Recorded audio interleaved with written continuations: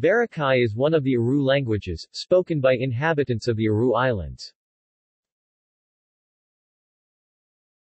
References